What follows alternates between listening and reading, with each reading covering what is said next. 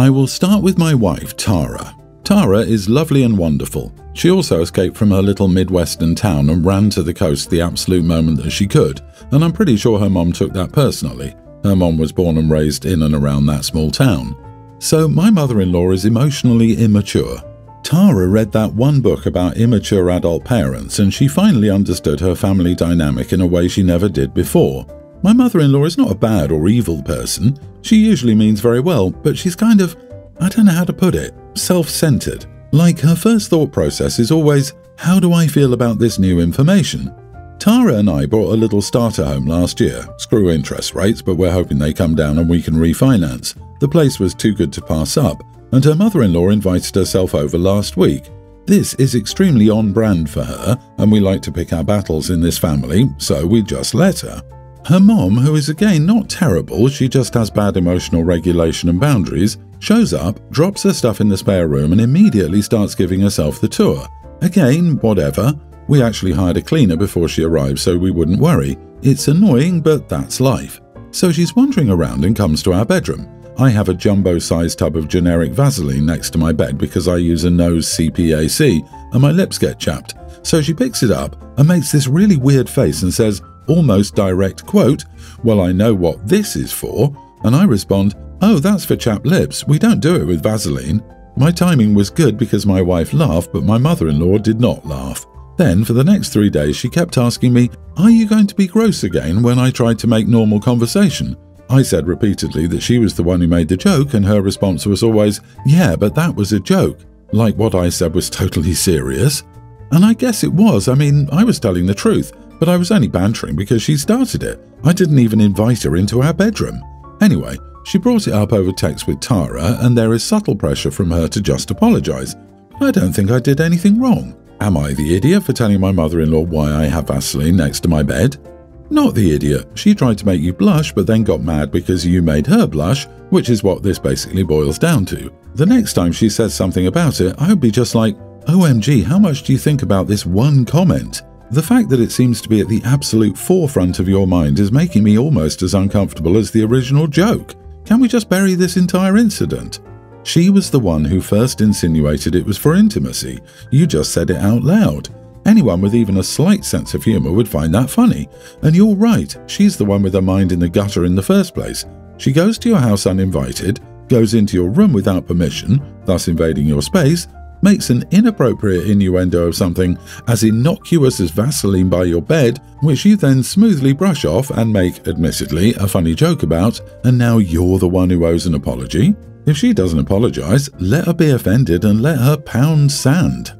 OP, I'm only sorry you didn't keep up the banter every time she asked you if you were going to be gross. I won't be gross if you won't be nosy, etc. Don't apologise. Don't encourage your wife to apologise. If she brings it up in the future in front of other people, tell them she was snooping around and quote her exact words. She's an adult, for God's sake. She can dish it out but can't take it. Also, include a small pot of Vaseline in future gifts. Wink, wink. She needs to get a sense of humour or quit being nosy. My wife's younger sister, Anne, 31, has been staying with us for about six weeks after getting out of a rough relationship. Since she's moved in, I've noticed she talks a lot about how bad men are. I've also noticed her social media is now filled with similar sentiments. Lots of stuff about how men are liars, cheaters, and worse. I just chalked it up to her getting out of a relationship and post breakup emotions. But then some of what she was saying and posting got pretty dark, to the point that I asked my wife about it and whether she thought Anne was okay. My wife said Anne is venting after a breakup. This is her way of processing emotions and getting her feelings out. She jokingly told me Anne refers to me as one of the good ones. I never talked to Anne specifically about this stuff. Anne had planned a trip with some friends to Nashville for a long weekend. Her flight was last Thursday. My wife was supposed to bring her to the airport, but she had something come up at work that she had to take care of. My wife asked me if I could bring Anne to the airport instead. I told my wife that I didn't feel comfortable doing that because I didn't want to be alone in a car with Anne. My wife asked me why, and I told her I didn't want to do anything that Anne might take the wrong way. She asked me what I meant by that, and I told her that given Anne's recent sentiments towards men, I didn't want to be alone in a car with Anne. I told her it would be best for everyone if Anne got an Uber or a female friend to drive her instead. My wife got upset by this, told me I was being ridiculous, and said Anne would never lie about me doing anything wrong. I told her I wanted to believe her, but I would rather her and Anne be angry with me for not giving her a ride than to have a potentially life altering marriage ending situation occur. My wife got more mad and asked me what exactly I was saying. I finally just came out and said that I don't want to be accused of anything by Anne or have anything I do or say taken the wrong way, so I feel the safest thing to do is to avoid being alone in a car with Anne completely.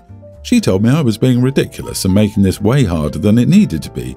She said Anne isn't like that and that it would be a huge favour to both of them. I told her that Anne would have to find another way to get there because I was not going to risk it. Needless to say, neither my wife nor Anne are happy with me. Anne sent me texts telling me I was no different than every other man and that she thought I was better than that. My wife thinks I'm making a mountain out of a molehill, that I don't trust Anne, and that I'm an idiot for even thinking Anne is capable of something like that. There is a lot of tension in our house now that Anne is back, and I've been making it a point to avoid her unless my wife is around. Not the idiot. The fact that she switched to you're just like all the other men just because you're not giving her a ride should give your wife food for thought. That said, if you're not comfortable with someone alone, start recording on your phone, and if you're unable to record video, record audio. The sister needs to move out of your house, dude. This is just going to get worse. I'm a woman and I've watched more than once women let bitterness over a failed relationship completely overtake their personality and life. It's very sad. Your wife isn't helping her sister by excusing her behavior. Her sister needs therapy, not enabling. Sister in law will now work overtime to turn OP and wife against each other. Sister in law would love to bond with her sister over a shared hatred. Misery loves company. Forget the trip to the airport. The sister needs to move out of your house. Now. If she has spare money to take trips with friends, she has money to find a roommate housing situation somewhere. Last night, my boyfriend, 24, and I, 24 female, tried to talk about our future together. We've been together for three years and want to come up with a budgeting plan to buy a house. While talking, I asked if he considered getting a job. Currently, he works at DoorDash and just finished a year of grad school, He's an aspiring jazz musician. Where we live, there aren't many gigs, so he hasn't been paid for performing all school year. He immediately shut down because he was caught off guard. In his mind, he'd planned to work at DoorDash all summer to earn money. He told me he couldn't stand the idea of working for someone else and that getting a real job just wasn't who he was. Context I've worked since I was 16. I worked the entire time while he was in school, splitting our expenses 70 30. I've begged him to work in the past to take some of the load off, but instead he's been using student loans to cover rent for the semester. Honestly, if he genuinely followed through, I wouldn't even be mad that he was working at DoorDash. He makes decent money when he does it, but the thing is, every time he promises me that he'll work, he ends up not following through. I felt upset that he was bashing real job culture when I have had to work so much in my life to keep us where we are. We got into an argument, and ultimately I said that if he refused to acknowledge his toxic view of work culture, I couldn't be with him. He couldn't believe I said that so easily after three years together, so he drove off for a few hours. We're now at this point where neither of us is willing to budge. I will admit that I have an anxious attachment style. I push too hard in arguments and don't give things time to settle. Sometimes I need to be told that I'm right because I seek validation in arguments, and it makes people upset with me, which is valid. I pushed last night and want to hear that I'm right. I can't tell if I was right or wrong for pushing this particular issue. Am I the idiot for telling my boyfriend off for his view on work culture? Not the idiot. Your boyfriend doesn't have a problem with work culture, he's just lazy. I know he doesn't have a problem with it because he's perfectly fine mooching off of you, who is only able to support the two of you because you have embraced work culture. This is a crystal ball to your future. Don't be someone else's doormat. Time to cut him loose. Yep, it's easy to live the free lifestyle of an artist when someone else is grinding a 9 to 5 to foot the bill. Lord save me from hippies who shout about the man and how everybody is a corporate drone or whatever they're yelling about these days, while using the wages somebody made from being one of those corporate drones to fund their life where they're not actually creating anything or helping anybody or doing anything to add something to the world. He's not getting a real job because of any moral objections. If he were, he'd be trying to earn money so that OP doesn't have to work in a job that goes against his morals. He's using her to promote his ridiculous lifestyle. It's a slap in the face to artists who work really hard at not fulfilling jobs so they could get to a stage where they could live and make their art. Girl, cut ties and get into the lifeboat because this boy's ship is sinking and he'll take you and your financial stability into the murky waters with him. My wife's younger sister Beth, 26, is in recovery for alcoholism. She's currently living in a sober house after getting out of rehab. My wife wants Beth to move in with us after the sober house so that she has a support system. Beth and my wife feel like living with us would be good for her until she feels comfortable enough to live independently. My mother in law and father in law passed away during the global issue, which was a significant catalyst for Beth's drinking. So my wife and I are the only family that Beth has left. I'm not totally against the idea of Beth living with us. I agree that she should have supportive people around her, but what I don't agree with is my wife's insistence that we remove all alcohol from our house. My wife isn't saying that we should have to stop drinking to show solidarity with Beth, but that we should remove all alcohol from the house, at least at first. I maybe have a drink two or three nights a week, but when we bought our house, it had an unfinished basement, which I turned into a bar and game room. It's pretty full stocked, like stocked enough that we don't have room anywhere else in the house to store all of it. Also, it's stocked enough that dumping all of it would be a huge waste of money. Drinking all of it would require multiple fraternities from the local college and multiple parties. I'll have to get a storage unit to keep it all, and that's not a feasible option. This has become a point of contention between my wife and I. I feel like we do have some options. Maybe Beth just never goes into the basement. I could put a new lock on the door and only I would have the key. My wife thinks I'm being unsupportive and that I care more about the bar and alcohol than Beth's health and sobriety. I obviously care about Beth's health and want the best for her, but I put a lot of blood, sweat, and tears into that basement, and I spent a lot of money over the years stocking it to this point. My wife thinks that if I'm not willing to dump the alcohol, I should start asking friends if they want anything and give it away. I told my wife that if we need to have our house be 100% alcohol free for Beth, then maybe she isn't ready to live with this and maybe she never will be. None of the options I've suggested have been acceptable to my wife. To her, it has to be all the alcohol gone. She told me it would be temporary until Beth feels more comfortable and we can all take baby steps toward having alcohol in the house again. I told my wife that I understand her desire and need to support her sister, but that I feel like she's taking this too far in trying to change how we live our lives to accommodate Beth. I want to be supportive of Beth too, but I also don't want to completely change how I live just because Beth is an alcoholic. My wife thinks I'm being an idiot and that if I can't get rid of the alcohol, maybe I have a problem too. Not the idiot. Your wife is asking for a lot of accommodations but isn't willing to negotiate for your comfort in your home. I wonder why locking the basement door with a hidden key isn't considered acceptable, as it will prevent access. If sister in law isn't serious about getting sober, nothing you'll do will stop her from drinking, and the wife needs to get a grip. At this point, the OP should probably lock up the room from his wife too. If she's this unreasonable, she may donate it or destroy it herself and use her sister to justify it. Man, keeping the room locked up is a decent compromise, but Beth is leaving a sober house and your house isn't expected to be sober. Absolutely. Also, who determines how long Beth stays? You, your wife, or Beth? If I were in that position, I would feel very uncomfortable with there not being a time limit on how long Beth could stay. What if she never leaves? My dad died five months ago. It was really sudden. He wasn't sick, he just went to work one day and didn't return home. Dad had five kids. He had me, a male teen, Mia, a female tween, and Kai, a male tween, with our mom, and she died nine years ago. Dad got remarried five years ago and had two kids with his second wife. Dad had set it up so that Mia, Kai, and I would stay with his wife if something happened to him. He never brought this up.